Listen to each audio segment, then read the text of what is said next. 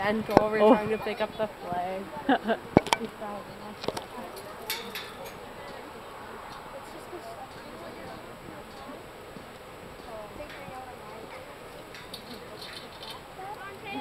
Go Taylor, prison now.